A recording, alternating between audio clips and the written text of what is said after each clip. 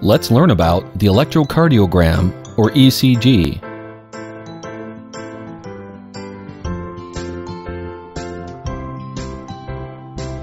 The ECG is a measurement of the electrical signals of the heart. Each part of the ECG represents part of the cardiac cycle.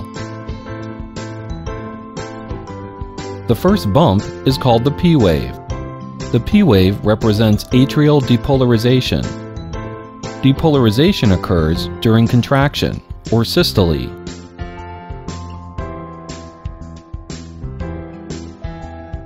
The largest part of the ECG is the QRS complex, which represents ventricular depolarization, or systole.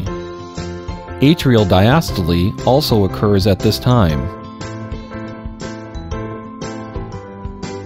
The T wave represents ventricular repolarization. The ventricles are going into diastole. The ECG can be used to detect heart problems or abnormal rhythms called arrhythmias or dysrhythmias. Tachycardia is an abnormally fast heart rhythm, usually greater than 100 beats per minute.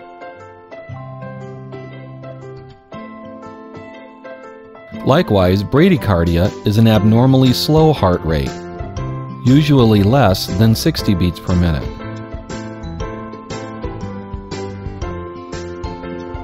Atrial flutter is a rapid contraction of the atria.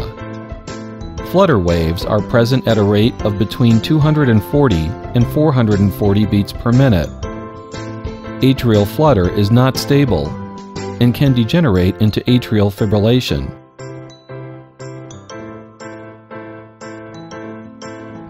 Atrial fibrillation consists of disorganized rapid contractions of the atria. There are no P waves present in atrial fibrillation. In a bundle branch block, the electrical impulse is delayed or blocked between the atria and ventricles. There are different types of blocks, but in this one, a third degree block, the P wave is not associated with the QRS complex. Ventricular tachycardia is a rapid contraction of the ventricles. It is very dangerous and unstable. In ventricular fibrillation, there is no organized contraction of the ventricles, and consequently, no movement of blood through the heart.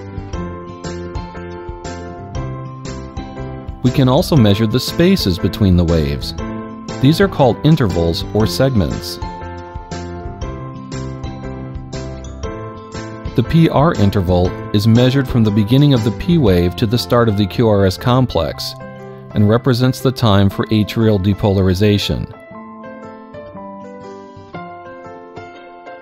An abnormally long PR interval indicates a heart block. The QT interval represents ventricular depolarization and repolarization. The ST segment represents the period when the ventricles are depolarized. The ST segment can be elevated in myocardial infarction or heart attack. We hope you have learned something about ECGs and see you next time.